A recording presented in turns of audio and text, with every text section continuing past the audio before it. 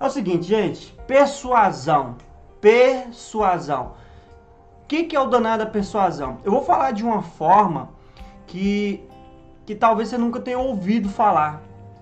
E, e eu, eu, eu, peço que você é, é, desligue o politicamente correto da sua mente agora, tá? É, porque o politicamente correto ele pode te impedir de pegar um aprendizado. E o que eu falo é o seguinte, que tudo, tudo é, é, é, tem um lado bom e tem um lado ruim. Depende muito da pessoa que absorve. E nem tudo que eu vou falar aqui é certo e é bom. Então você descarta o que não presta e aproveita só o que faz sentido para você. Fechado? O que eu vou te ensinar aqui agora, o que eu vou falar aqui contigo, vou te orientar, vou, vou, vou trazer, é sobre técnicas que têm o poder de fazer com que pessoas ajam sem que elas queiram, sem elas estarem preparadas para isso, tá ok? Então é o seguinte, antes de, de qualquer coisa, eu quero te falar o seguinte: desliga o politicamente correto para que você não perca nada. Porque eu vou falar aqui para vocês agora de dois filmes e eu vou usar eles como referência para você aprender com esses filmes, aprender com eles a, a, a, o que os caras ensinam lá. Então é o seguinte: o primeiro filme que se você não assistiu, eu recomendo que você assista ainda hoje, nem dorme, já fica virado aí, porque vale a pena. O primeiro filme é um filme chamado A Origem. Esse filme é do Leonardo DiCaprio, com não sei das quantas lá, um monte de ator boladão. A Origem, no, no, o original dele mesmo, ele é Inceptions, é alguma coisa relacionada à inserção, tá? Esse filme ele tem um contexto seguinte, é, eles são um grupo de pessoas que tem uma tecnologia que tem um poder de invadir sonho das pessoas para roubar informações. Então a pessoa está dormindo, eles aplicam um soro, coloca uma máquina nessa pessoa e eles conseguem no subconsciente invadir a mente da outra pessoa. E aqui a primeira coisa que eu quero trazer para você é o seguinte: é, tem muitos pensamentos que estão rodando dentro da tua cabeça que não são seus que foi alguém que fez a inserção de pensamentos dentro do seu cérebro. Então, você começa a ficar esperto aí para você não, não, não para você não, não tomar atitudes que não são suas. Primeiro ponto. E é o que eu vou falar aqui, é o que nós fazemos, é a nossa arte. A nossa arte, quem quer, quer vender online, é a arte da persuasão pode ser usada para o mal. Por exemplo, nesse filme, os caras invadiam os sonhos de terceiros para roubar informações.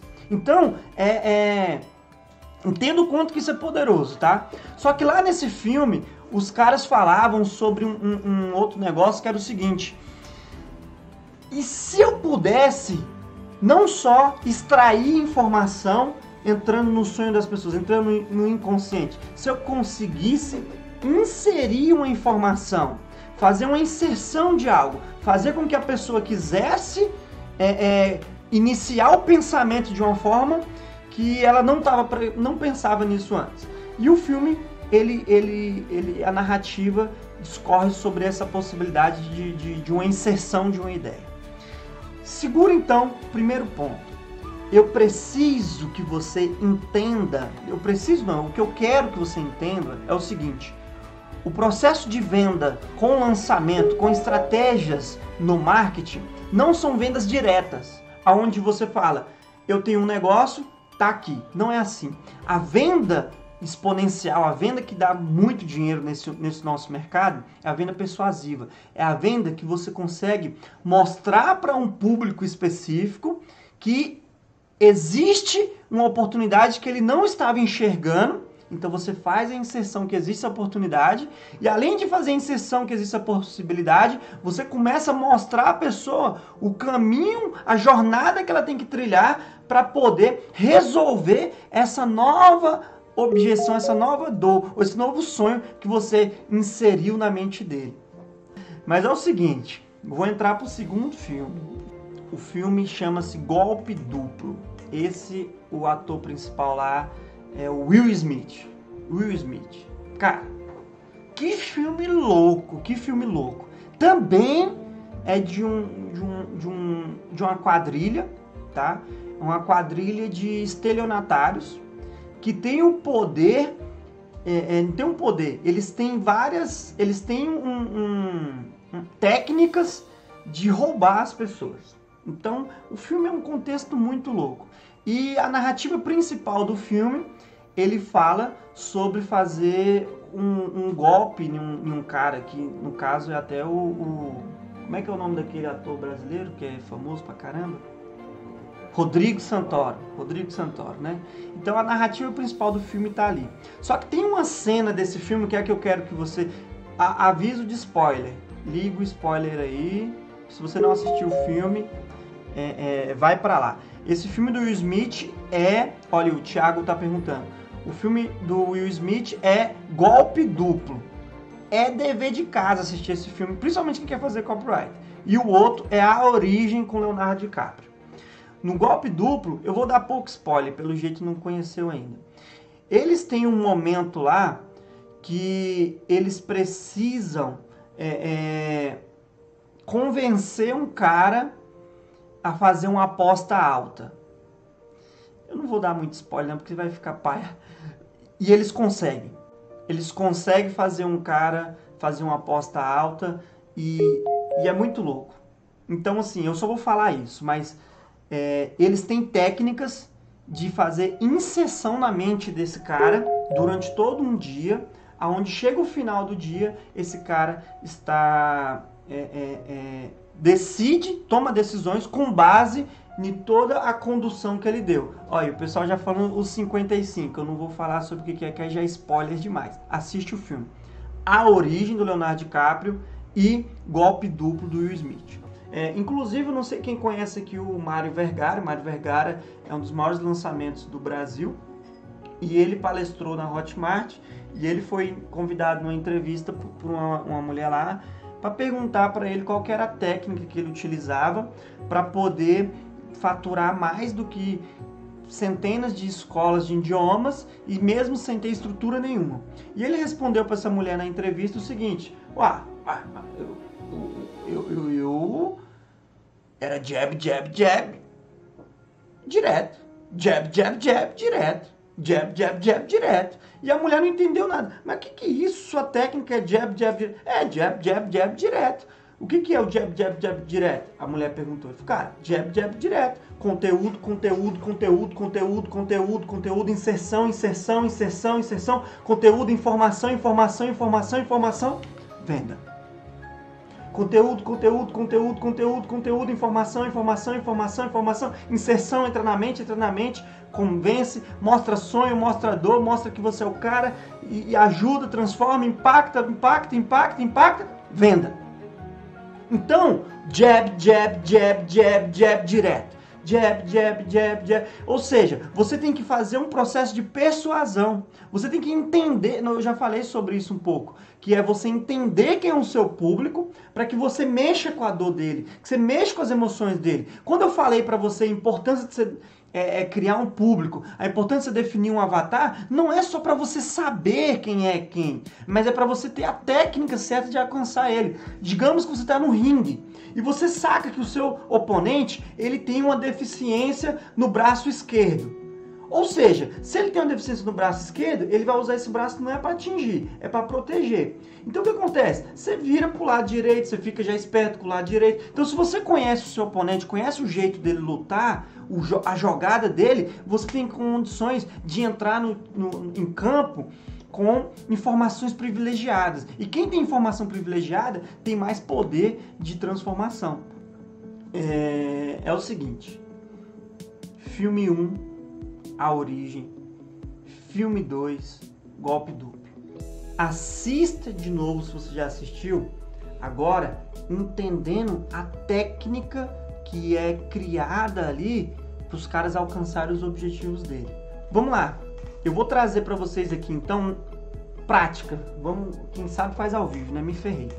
Deixa eu pensar aqui dois casos práticos de, de técnicas de persuasão. Vamos lá dois gatilhos mentais. O primeiro gatilho mental que é poderoso pra caceta, pra caceta. Não sei se vocês viram aí, eu, está, eu estou fazendo é, em Goiânia agora dois eventos presenciais. Cara, um evento presencial ele é um gatilho mental poderosíssimo. poderosíssimo. Por exemplo, isso aqui é um negócio que eu fiz uma. Eu estava em um, em um evento exclusivo com algumas pessoas, com o Érico Rocha, e ele falou um negócio pra gente lá que eu vou contar pra vocês aqui. Ele disse o seguinte, que ele quando ele fez, ele tinha projetado a copy do novo lançamento dele, eles trabalharam toda a copy do, do lançamento do Fórmula, do Fórmula de lançamento, e nessa nova copy é, ele tinha que gravar o vídeo para soltar, porque ele ia viajar para fazer uma mentoria nos Estados Unidos. E o que acontece? Nesse tempo dele gravar essa, essa, é, é o conteúdo do novo lançamento, eles perderam o time e não conseguiram fazer a gravação. E aí o que, que eles descobriram? É, é, o que, que eles é, é, arrumaram como solução? Porque é o seguinte, nessa época ele falava para os alunos dele lançar em janeiro. E ele falou, poxa, eu falo para todo mundo lançar em janeiro e eu não estou lançando. Então ele tinha que lançar de alguma forma, mas não ia ter tempo para gravar. Então o que, que ele fez? Ele, ele, ele criou uma forma de fazer ao vivo o lançamento foi nessa história que surgiu as Masterclass. E eu vou te contar uma parada aqui que poucas pessoas conhecem sobre a Masterclass, que eu vou te contar aqui o segredo. É o seguinte, quando ele fez o evento ao vivo, ele não tinha a menor noção do que, que isso ia dar. Aí o que rolou? Eles alugaram um espaço pequeno, porque ele estava com medo de não conseguir lotar, e colocou o ingresso a vender a 47 reais. Eu até comprei o ingresso e não fui. É ele lotou um espaço físico, porque ele se sentia mais à vontade falando com pessoas e deixando gravar do que ele olhando para a câmera. Então o que, que ele fez? Alugou um espaço ao vivo três dias e começou a fazer o lançamento, a copy que ele tinha preparado, e falou, cara, eu tô com um negócio aqui, se me botar ao vivo com alguém eu consigo cuspir, só me dá um slide que eu faço. E assim ele fez. Aí o que, que ele fez? Presencial, mas transmitiu ao vivo gravando e já transmitindo. O que que rolou? Aqui que é o segredo, o gatilho mental do evento. O que que rolou? Nossa, veio, veio outro gatilho mental que eu vou ensinar pra vocês também, que foda pra caramba. O, o, o que que rolou lá? A marketing é mais matemática do que publicidade, tinha mais matemática. A matemática do Érico era mais ou menos o seguinte: 20% das pessoas que, que se inscreviam para participar do lançamento 20% assistia. 20 não, 15%. Por exemplo, ele tinha 100 mil pessoas que se inscreveram para participar do lançamento. Dessas 100 mil pessoas, 15 mil participavam assistindo ao vivo. Tá? Eu estou falando só de percentual, não sei se a quantidade era essa ou não. 15% vinha participar. E dos 15% que vinha participar, ou seja, das 150 mil pessoas que participavam, ele tinha uma taxa de conversão aproximada de 5%. De 5 a 10, variava muito. É isso que ele me contou lá nessa conversa nossa, né? Então o que, que rolou? Quando ele acionou o gatilho mental do evento, sabe o que, que rolou? Em vez de das 100 mil pessoas que se inscreviam, não foi só 15%, saltou para 65% de pessoas participando do evento pela transmissão ao vivo. Sabe por quê? O gatilho evento. Esse gatilho evento, ele colocou o que na mente das pessoas? Ele fez isso inconscientemente, ele explicando lá pra gente. Ele acionou na mente das pessoas que o evento, ele tem algo novo por quê? O Érico ele colocava tanto conteúdo, tanto conteúdo, tanto conteúdo na internet, que muitas pessoas já falavam, ah, eu já vi demais desse cara. Mais um lançamento, eu já vi esse lançamento. Só que como ele estava fazendo a sacada, que ele estava mudando de copy, rolou o gatilho do evento, de 15 pulou para 65%. E sabe o que, que rolou, irmão? Primeiro oito dele, primeiro oito dígitos. Ele estourou a tampa do 7 nesse lançamento. O que aconteceu? Se a taxa dele era de 5 a 10% de conversão de quem participava, agora é de 5 a 10% de 65%. Então, o evento foi um gatilho mental que persuadiu as pessoas que estavam acomodadas a não mais querer assistir o conteúdo deles. E o que, que aconteceu? As pessoas vieram para assistir o evento que estava rolando ao vivo. Eu, por exemplo, estou fazendo dois eventos ao vivo aqui em Goiânia agora. No dia 9 eu faço um e no dia 16 eu faço outro. No dia 9 eu faço um para me se situar com o palco. Quem é de Goiânia é meu convidado, não paga nada. O segundo vai ser presencial, porém eu vou transmitir ao vivo. Esse presencial a pessoa vai pagar um, um quilo de alimento. Vou entregar muito conteúdo. Por que, que eu estou fazendo esse segundo evento presencial com transmissão ao vivo? Porque eu quero que as pessoas é, é, é tenham a curiosidade de, de, de, de, de ver meu lançamento de ver minha pegada, ver minha palestra. E esse evento vai acontecer durante meu lançamento. Meu lançamento ele abre o CPL no dia 8.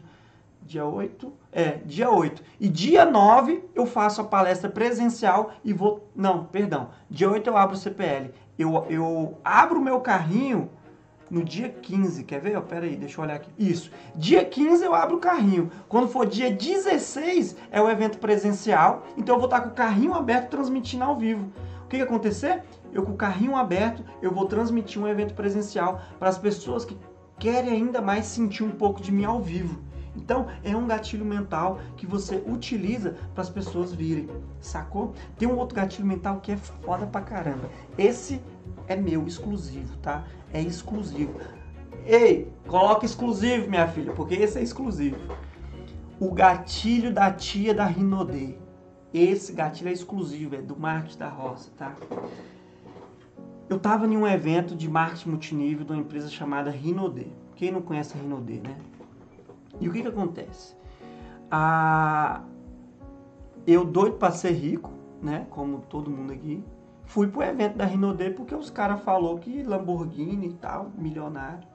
Me sobe uma senhora uma lá de coque, aquela assembleana. E eu sou crente, tá, gente? Então eu tô falando com, com respeito, é com a brincadeira do crente, né?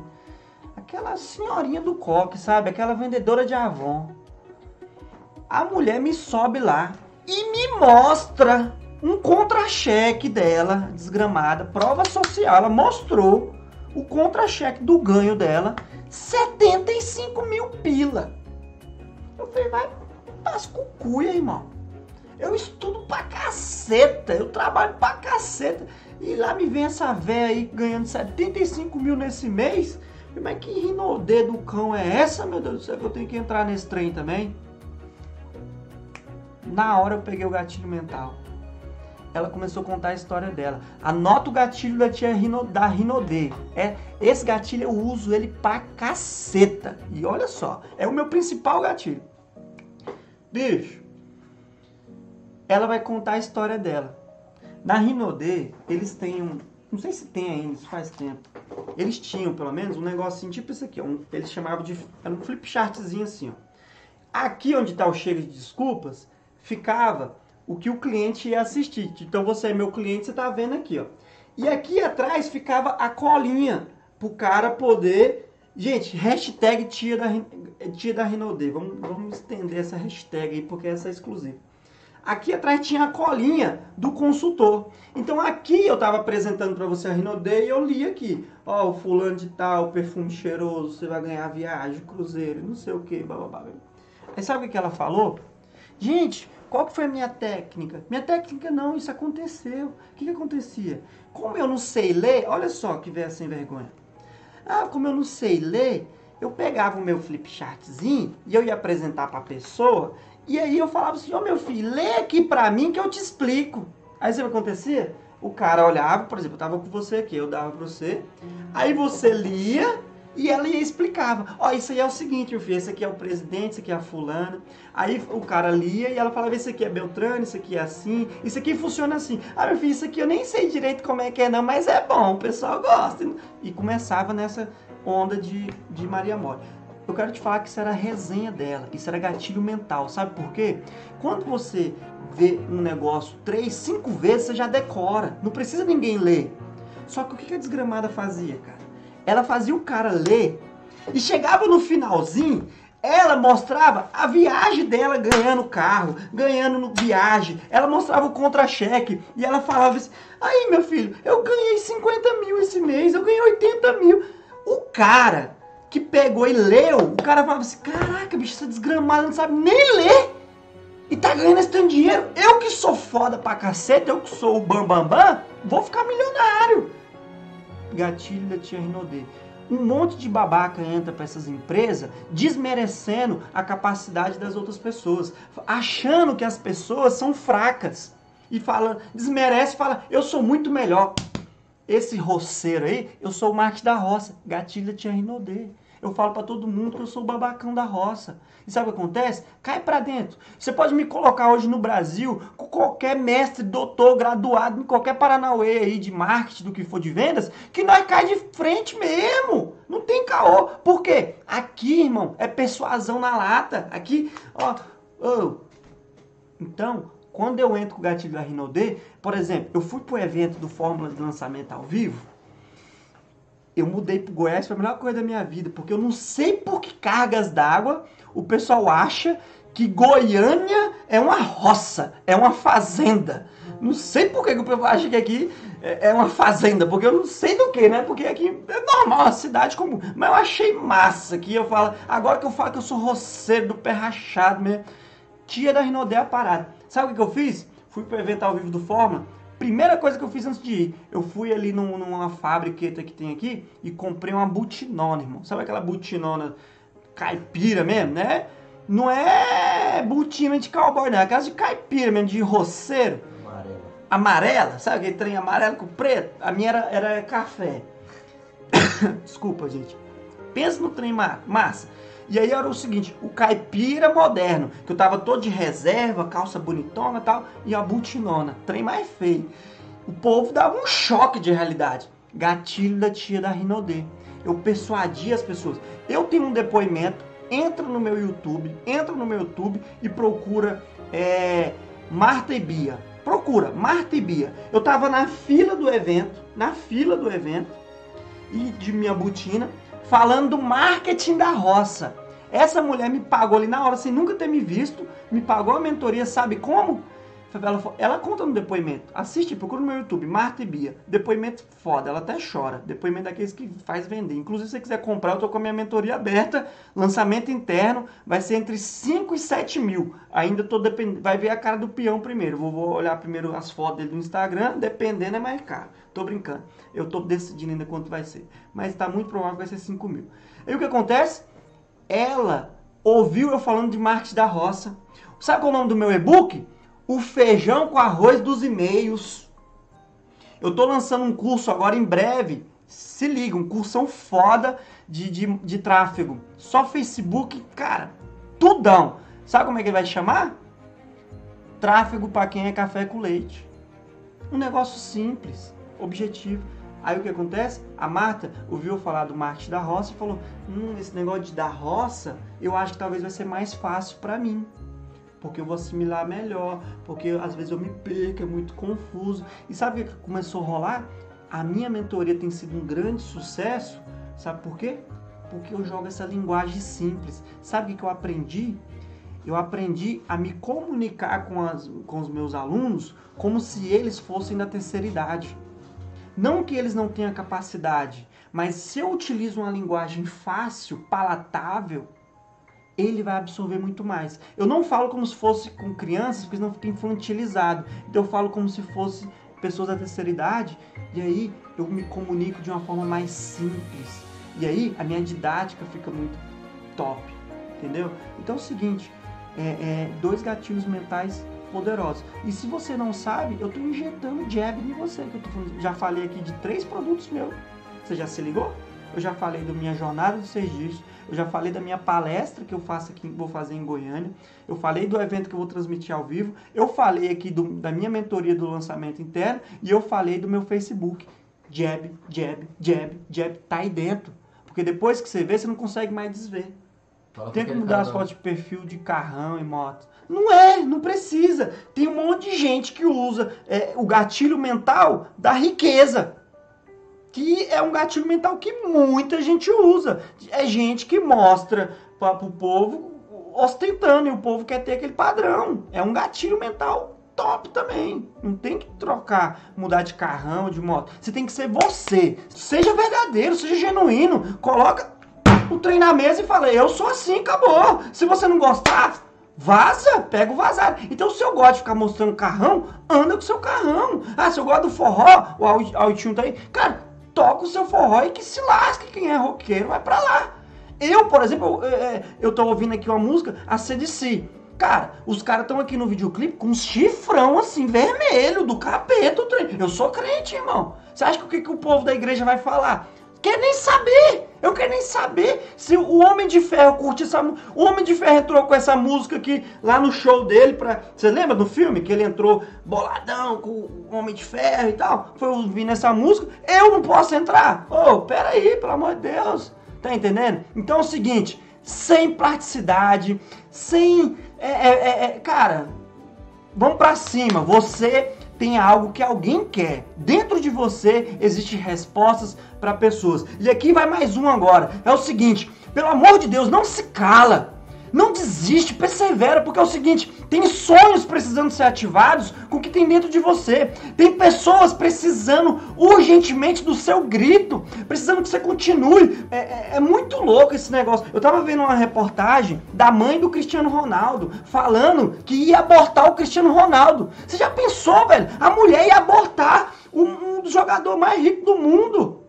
Ela ia se lascar toda, ia estar tá quebrada até agora. Sabe lá Deus o que, que ia acontecer. Mas o que acontece? Se ela. Por que, que ela quis? Por que, que ela quis? Porque ela estava pressionada pela sociedade, depressão, aquele negócio, preocupação, angústia. Porque com o olhar dos outros, meu irmão, é você, é Deus. Ó, trabalha pra caramba, irmão. Bota, bota pra acontecer. E não fica se vitimizando, não. Não fica querendo ser bonito. Porque pessoas que tentam parecer interessante não são. Pessoas que estão tentando parecer interessante não são. Então, seja você e use o que você tem para entrar com força e fazer um impacto nessa geração. Nós estamos com a sociedade sedenta por líderes, por pessoas de DNA, pessoas com raça, pessoas que querem fazer acontecer. E ó, não tenha pressa. O seu cérebro, esse vagabundo aqui, ele quer ir lá rapidão, mas o seu corpo não dá conta. Ele tem que ir um passo de cada vez, um passo de cada vez. Bota controle no teu cérebro, porque senão você vai ficar depressivo, ansioso, vai tomar,